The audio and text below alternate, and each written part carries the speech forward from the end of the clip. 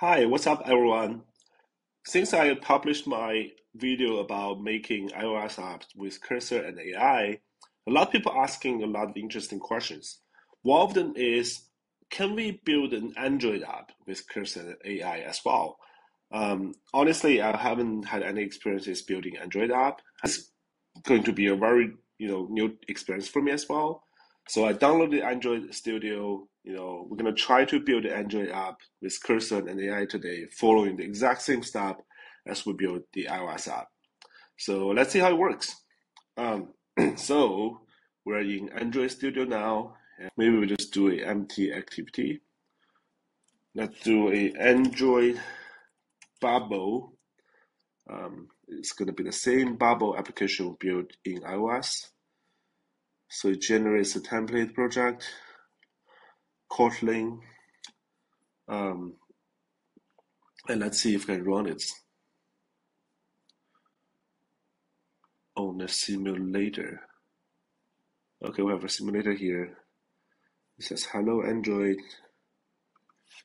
Change this to hello bubble. Will that work? I'm gonna refresh it.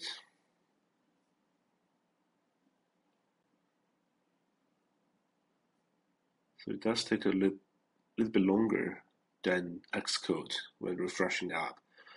Okay, so we have a sample application created on Android Studio.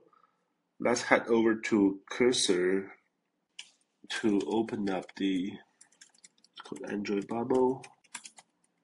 Uh, we can open it with Cursor. So let's start by creating a Cursor rules file and then we head over to cursor.directory for Android and Kotlin. We have our files here, we'll just copy it, send it to here. Alright. Okay, we have the cursor rules files here. Looks good. And then we're gonna head over to cursor settings. Make sure the file is in sync with the Android Studio. It's enabled. So here I've added two cursor documents. One is the Kotlin coding guideline and the Android design guidelines. Um, so if you're interested, these are the URLs. I'm going to attach this to the video description later. Um, and now we're ready to start ask cursor to code first. All right. Okay, let's go back to the Android main activity file. All right, and then we're gonna instruct cursor to follow Kotlin and Android design guideline. Um, and then we're gonna use the same exact same prompt when we're creating the iOS Bubble app. I'm just replacing iOS with Android here. Everything else is the same. I'm gonna copy this. Again, we're gonna create a two screen app. The first screen is to uh, will show a clickable bu bubble floating on the screen, and when you click on it, it will burst, and then a new bubble will show up, and then you just need to chase the new bubble and click on it and see it burst. And there's a setting screen that allows us to control how fast the bubble moves and the size of the bubbles. All right, let's see if cursor can use this magic to create this app first. Let's go and go ahead and hit on send.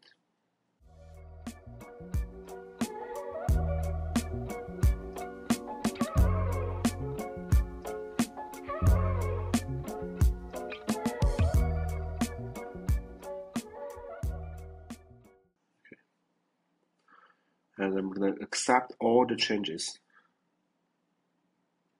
And then let's head back to Android Studio, refresh the app. Oops. All right, so there's some errors here.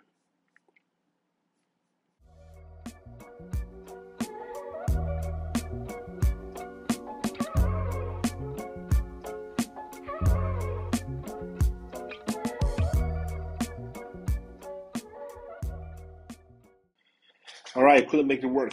So um, let's do this all over again, right? So, but this time I'm gonna use a different prompt. So besides the prompts you used previously, we just add one line here. Do not touch the default dependency management and project settings of Android Studio. All right. so we don't, hopefully we don't run into this kind of like weird dependency issues again. All right. In the Android Studio, let's create a new project.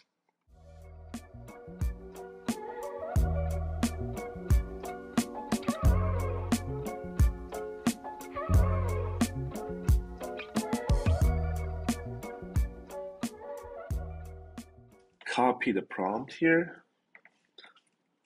Do not touch anything, just build it out, right? And let's hit on send. Let's see if it works this time.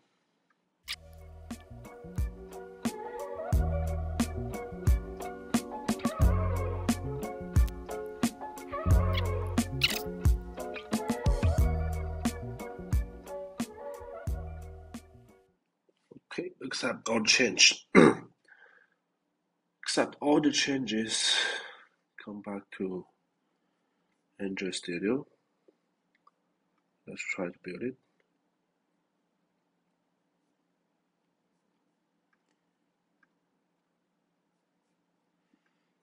Okay, there's an error here. There are two errors. Let's just copy everything to cursor.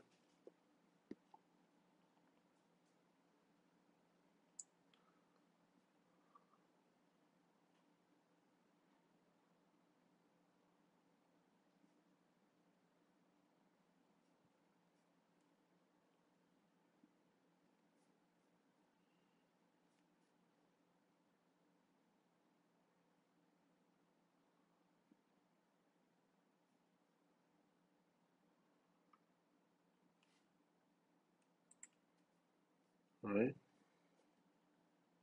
Does it work?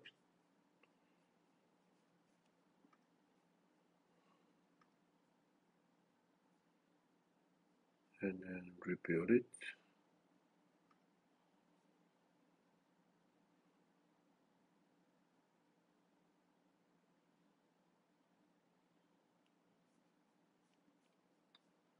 Run it. Oh, okay, works now.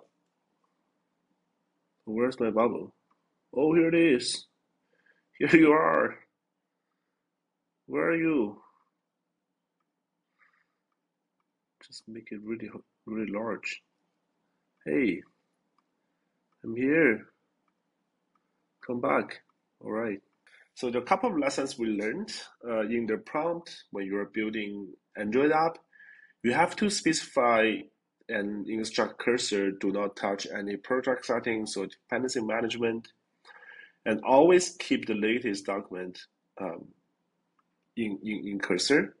So it follows the best practices of using any experimental or deprecated features. Uh, I guess we're gonna try to make an Android video again, just make it smoother. But just on the surface of it, uh, looks like it's really hard, um, at least much harder than building an iOS app using Cursor. All right, that's it for today. Um, I'm gonna figure out how to make make Android app building easier with Cursor. Um, so stay tuned. Please comment, like, and subscribe to the channel. See you next time.